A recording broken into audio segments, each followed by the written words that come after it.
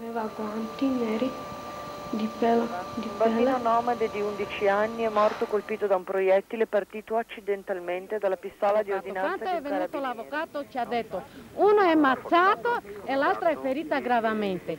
Il bambino un momento importante di riflessione per tutti, oltre che eh, un caso, una tragedia appunto su cui vogliamo far luce.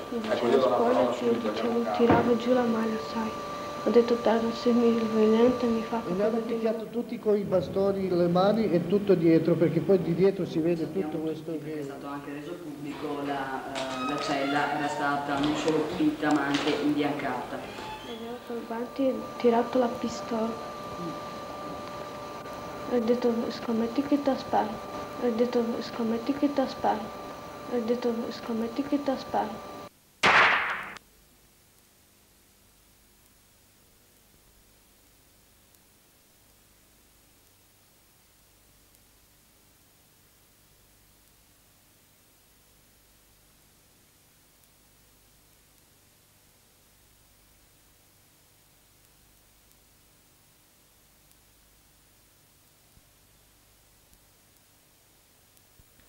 23 settembre 1993. Noventa Padovana, un paese nell'immediata periferia di Padova. Sono circa le 10 del mattino. I carabinieri di Ponte di Brenta vengono chiamati dalla proprietaria di un appartamento di via Cappello che ha catturato due bambini nomadi mentre cercavano di forzare la porta di casa sua. Si tratta di Tarzan Sulic, di 11 anni, e Mira Djuric, di 13, due bambini rom che vengono portati immediatamente dai carabinieri nella vicina caserma di Ponte di Hai Brenta. i carabinieri, i carabinieri sono venuti. Poi non mi ha visto, mi hanno ci ha messo in macchina, ci hanno tolto tutte le cose, anche le mie ro- roba. Ci hanno messo in macchina, lì dicevano picchia i bambini, sai, e ci davano i pugnini, questi, come si chiamano? In ginocchio. Ginocchio. Mira e Tarzan vengono privati delle scarpe e rinchiusi in una cella piccolissima, 2,78 m per 1,73 m, con una branda metallica, con pagliericcio e materasso e senza altre aperture che la porta blindata d'ingresso, con uno spioncino e una finestrella sovrastante.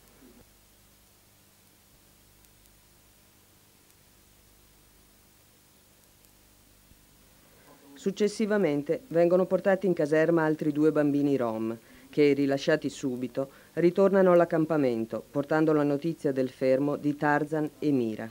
Hanno portato per prima mia figlia, questo cugino, il bambino da 10 anni che hanno ammazzato. Dopo hanno preso gli altri due bambini. Hanno massacrato questi gli altri due bambini, lo stesso minori da 10 anni, e li hanno lasciato a piedi che sono venuti a casa. Così noi abbiamo saputo che i nostri figli si trovano in quella caserma. Abbiamo telefonato 10.000 volte con telefono loro, rispondono non ci sono, non ci sono. A quel punto dico, se, mia- se questo bambino dice che ha visto suo fratello più grande da lui là, e là non può sparire così il bambino da stamattina fino alle 2 alle 3. Allora abbiamo chiamato il nostro avvocato. Quando è venuto l'avvocato ci ha detto uno è ammazzato e l'altro è ferita gravemente.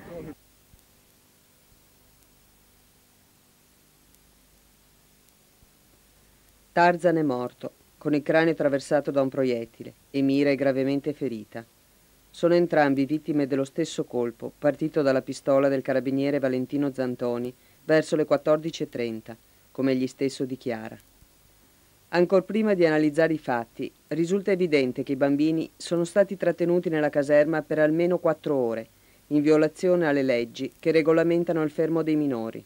E a prescindere dal fatto che fosse possibile arrestare o fermare Mira e Tarzan, quindi anche a tutto voler concedere, vi è innanzitutto la necessità che coloro che operano il fermo o l'arresto diano immediatamente notizia al pubblico ministero, nonché ai genitori, della- eh, del fatto stesso. La Croce Verde registra la chiamata alle 14.45, con un ritardo di almeno un quarto d'ora rispetto allo sparo, in una situazione in cui ogni minuto è prezioso per salvare una vita. Dalle dichiarazioni di Mira risulta che i carabinieri hanno aspettato molto di più. Lui ha sparato, Tarzan è caduto giù, io non sapevo che ero ferita, sentivo solo di dolori. Non sapeva lui caduto giù, sono rimasta dieci minuti guardare dove hanno sparato. Poi sono uscita da cella, ho visto che sono, mi sono messa da fuori da cella giù. Lui chiama, sono venuto in cella, poi ho chiamato quello, il poliziotto che ci ha sparato. Diceva che ha sparato a noi. E uno di cucina è uscito, si mettevano d'accordo, non so cosa dicevano. I genitori di Mira e Tarzan, che già avevano telefonato numerose volte ai carabinieri, vengono avvertiti dell'accaduto dall'avvocato Alberto Simionato, che arriva alla caserma verso le 15. Assieme a tutti i rom presenti al campo, si precipitano sul luogo dell'accaduto, ma non viene consentito a nessuno di avvicinarsi e nemmeno i genitori riescono a vedere la salma di Tarzan.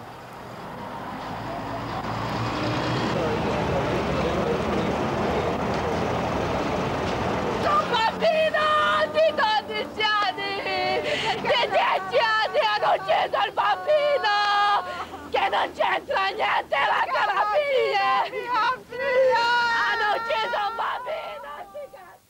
I Rom decidono allora di recarsi all'ospedale civile, dove Mira è stata ricoverata e viene sottoposta d'urgenza ad un intervento per l'estrazione del proiettile, che è entrato all'altezza del seno sinistro e ha attraversato tutto il busto per fermarsi nella parte lombare sinistra. Eccezionalmente, questo proiettile non ha leso organi vitali, anche se il giorno seguente Mira verrà sottoposta ad un secondo intervento per l'insorgere di un'infezione intestinale. Sui corpi di Mira e Tarzan vengono inoltre rilevate e documentate fotograficamente contusioni che fanno pensare che abbiano subito anche dei maltrattamenti. Per quanto riguarda Mira, mi riferisco ad un complesso lesivo che è presente da un lato agli arti superiori, agli arti inferiori e alla schiena. Non si tratta quindi di lesioni antecedenti rispetto eh, all'epoca dei fatti. Lo stesso, lo stesso, quasi lo stesso si può dire per quanto riguarda Tarzan, nel senso che anche a carico di Tarzan sono state ritrovate delle lesioni soprattutto agli arti inferiori. Ci picchiavano altri carabinieri. Ci venivano, ci picchiavano con la legna, con tutto. Ci facevano di male. Proprio per questi maltrattamenti e per il lungo fermo subito dai bambini rom, Amnesty International ha voluto occuparsi del caso, inserendolo nel suo bollettino semestrale europeo. Radio Sherwood apprende la notizia dall'ANSA alle 18 del giorno stesso e lancia un appello di mobilitazione immediata. La sera del 23 settembre vengono raggiunti i Rom all'ospedale civile, ma l'intervento di una decina di volanti con polizie di Igos tende ad isolare i nomadi. Nonostante questo viene lanciata, in accordo con i Rom presenti, la proposta di mobilitazione in Piazza dei Signori per il giorno seguente. Dalla manifestazione del 24 settembre e dalla successiva assemblea nasce il comitato di controinchiesta, a cui aderiscono alcuni avvocati di Padova e varie associazioni, Lega Ambiente, Casa dei diritti sociali, Associazione per la pace, Centri sociali occupati, Radio Sherwood, Razzismo Stop. Il successivo incontro dei Rom con il sindaco Zanonato e la domenica 26 settembre con il Presidente della Repubblica Scalfaro non produce che parole consolatorie, inviti a confidare nel lavoro della magistratura e raccomandazioni ai genitori di Tarzan affinché non mandino più i figli a rubare. Sempre il 24 settembre la notizia occupa le prime pagine dei giornali e dei TG nazionali, che parlano di disgrazia e dipingono gli zingari con i luoghi comuni che fanno presa sulla gente, ladri, ladruncoli, Mercedes e telefonini. Dai giornali si apprende inoltre la versione ufficiale dei fatti del PM Cappelleri, titolare dell'inchiesta, che dà immediatamente piena credibilità alle dichiarazioni dei carabinieri e cerca di giustificare l'illegittima reclusione di Mira e Tarzan e il loro lungo fermo con il rifiuto dei due bambini di rivelare i loro nomi.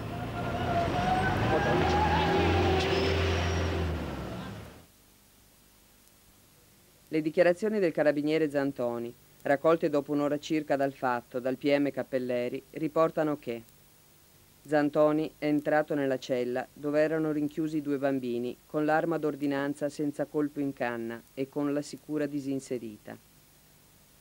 La fondina aveva la fibbia di chiusura non completamente allacciata per motivi di pronto intervento. Al suo ingresso i bambini erano seduti sulla branda. Zantoni si è avvicinato a Tarzan e successivamente si è chinato in avanti verso Mira.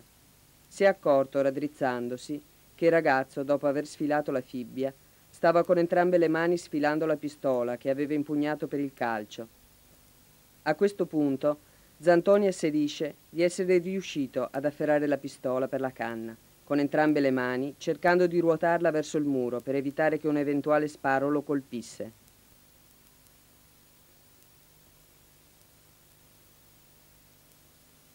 Ricordo di aver invocato aiuto, di non essermi accorto dello scarrellamento della pistola che ha fatto salire il colpo in canna. Ricordo poi di aver sentito lo sparo e subito dopo di aver avuto la sensazione di impugnare pienamente, ossia con presa sicura, la pistola con la mano destra. Come possono allora essere usciti sui giornali titoli e articoli basati sulle dichiarazioni di Cappelleri che parlavano di pistole in mano a Tarzan? Sentiamo ora invece la versione dei fatti raccontata da Mira.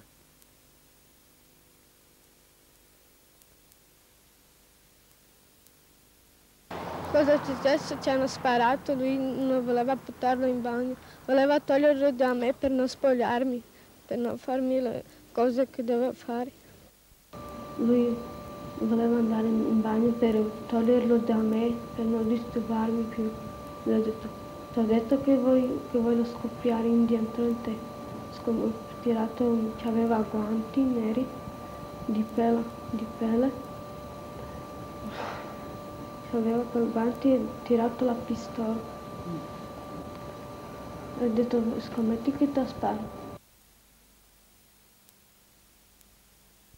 La versione dei fatti di Mira è stata confermata da un volontario della Croce Verde, intervenuto con l'autoambulanza e che aveva chiesto alla bambina cosa era successo durante il trasporto verso l'ospedale.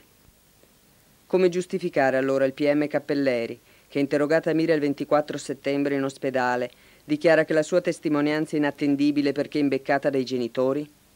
Il comitato di controinchiesta rileva immediatamente questi e altri punti oscuri e facili conclusioni nell'inchiesta condotta dal PM Cappelleri, un'inchiesta che in questo momento non è neppure un'indagine, ma soltanto un procedimento in morte di senza nessun indagato. Non è stata poi ancora richiesta una perizia balistica sull'arma, ma esclusivamente il guanto di paraffina sul bambino morto, non sufficiente a fornire dettagli utili per una precisa ricostruzione dei fatti. Inoltre, gli avvocati e periti di parte effettuano il sopralluogo all'interno della caserma e trovano la cella completamente imbiancata. Il collegio di difesa delle parti offese decide quindi di presentare una serie di richieste al PM Cappelleri. Innanzitutto la perizia balistica e il sequestro, seppur tardivo, di tutto il materiale utile all'inchiesta. Nel febbraio 94 le perizie confermano ciò che il comitato di controinchiesta aveva già rilevato nella ricostruzione dei fatti.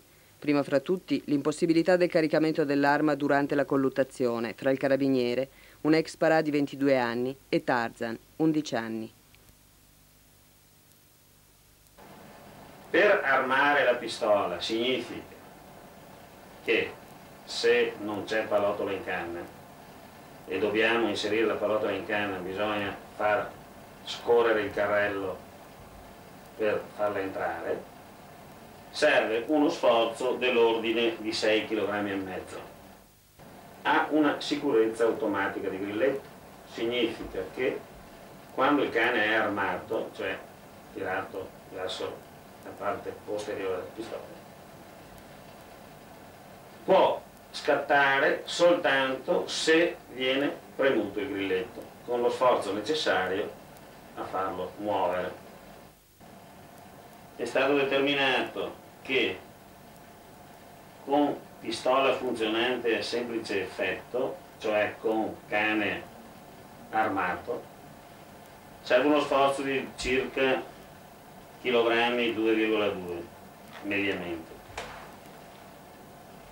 Con doppio effetto serve uno sforzo di circa 5 kg e 74 quindi è impossibile su questo tipo di pistola che avvenga un colpo senza che ci sia il movimento del grilletto quindi anche se la pistola cade per terra non è possibile scatti il cane quindi non è possibile determinare il colpo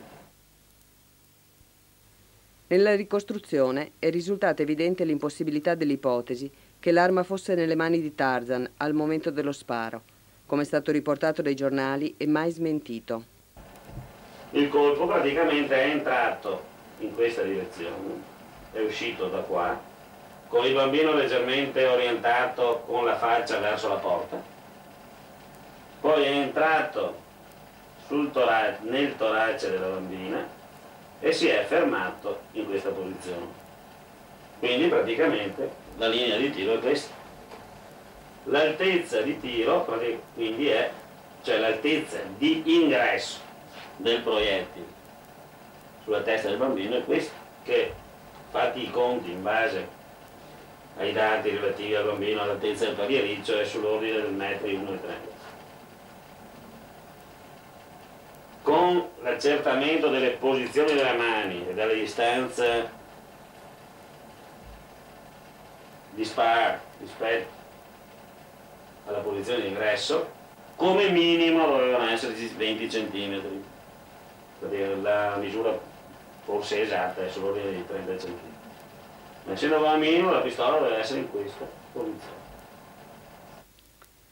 L'analisi delle polveri riscontrate sulla testa e sulle mani di Tarzan dimostrano solamente che il bambino ha istintivamente alzato le mani in un estremo e disperato gesto difensivo.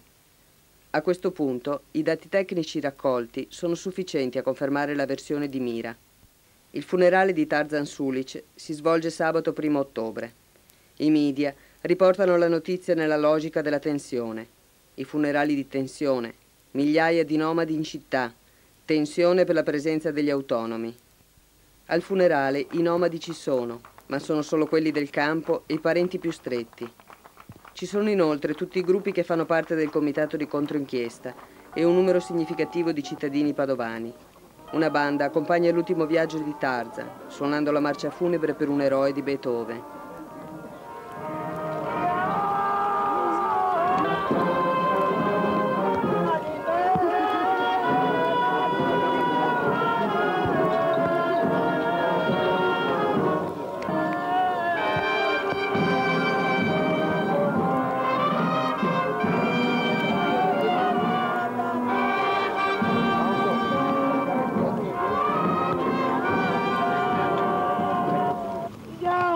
levantar e chama,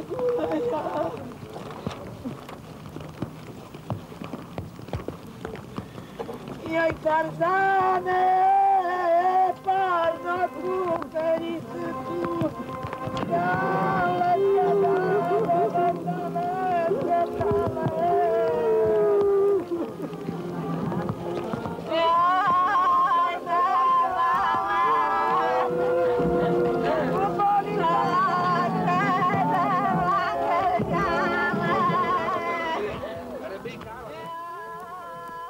polizia affretta e fa partire velocemente il corteo di macchine che segue la salma di Tarzan e cerca di impedire la manifestazione che si apriva con lo striscione. Tarzan è stato assassinato dal razzismo di Stato.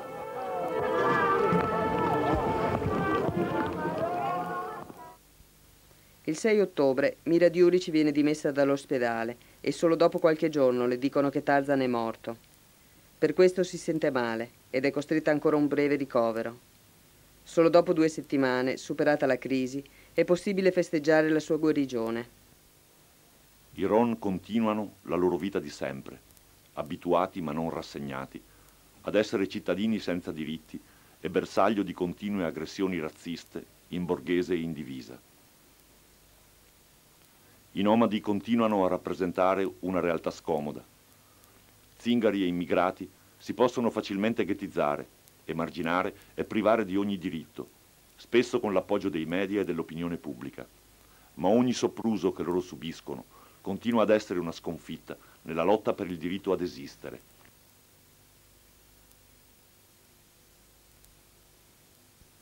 Il fascicolo riguardante la morte di Tarzan Sulice e il ferimento di Mira Djuric, che vede indagato il carabiniere Valentino Zantoni, è passato per competenza alla pretura. Ciò vuol dire che il pubblico ministero Capelleri, lette le perizie medico-legale e balistica, ha escluso che ci possa essere stata volontarietà nel gesto che ha provocato la morte di Tarzan. Ma perché allora Zantoni ha mentito su quanto riguarda il caricamento dell'arma? Perché Capelleri ha dichiarato subito che Mira era inattendibile? Perché si è cercato di far credere all'opinione pubblica che al momento dello sparo l'arma era nelle mani di Tarzan? Come pensare che la colluttazione abbia provocato lo sparo ed escludere con tanta certezza che possa essere stato invece un gesto, seppur folle, di volontarietà?